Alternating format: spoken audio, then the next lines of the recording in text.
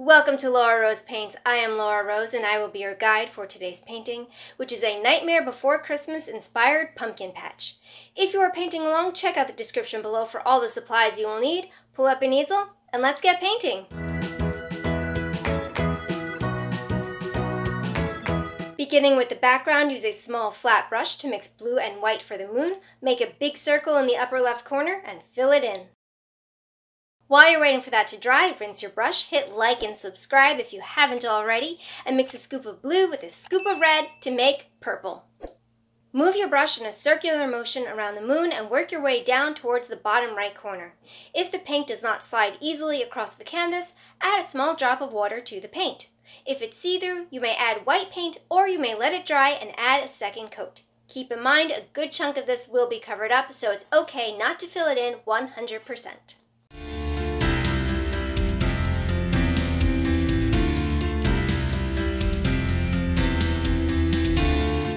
Clean the small flat brush and use watered down white paint to make the moon glow.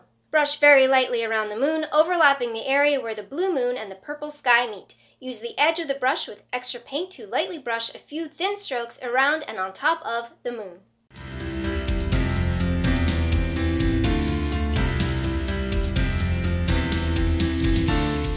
And now is the perfect time for a dry break. Clean those brushes, swap out your soggy paper towels, get a fresh cup of paint water, and if you are inclined to post to Instagram, please tag me at Laura Rose Paints so I can see your work in progress. Once the background is dry, use a pencil to sketch in Jack's Hill. Think of a basic wave shape and make it as curvy or as spirally as you like.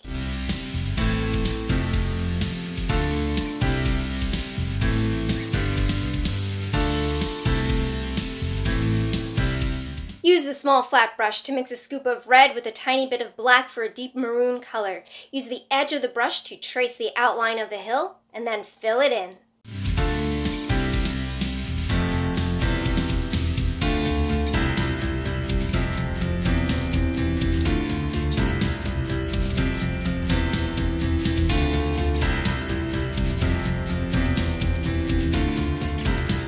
While we are waiting for that hill to dry, let me know down in the comments what are your favorite horror or Halloween movies? One of my favorites is The Nightmare Before Christmas, but what about you? What are your favorites? Let me know down in the comments.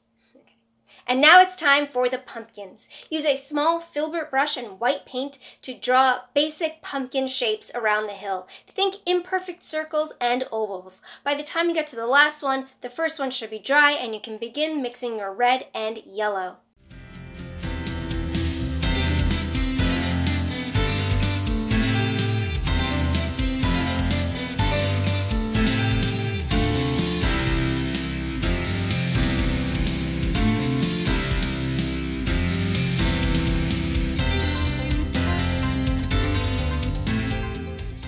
Paint over your pumpkins with the orange paint, leaving the stems white for now.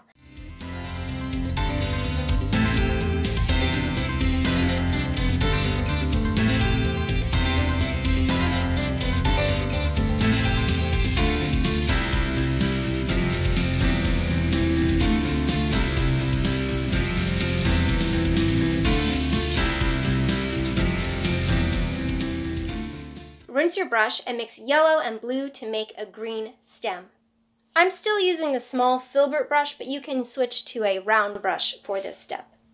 If you want to keep your painting simple, you could stop here, but if you want to add just a little more detail, you could add some shadows and highlights.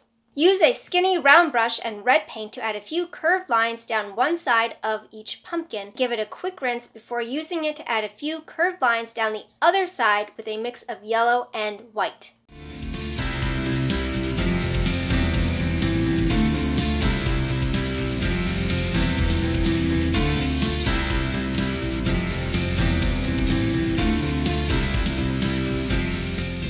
Use the same brush and yellow-white mix to pop in a few highlights on the stems and add the tiniest drop of red to your green and use this to pop in a few shadows on the other side of the stems.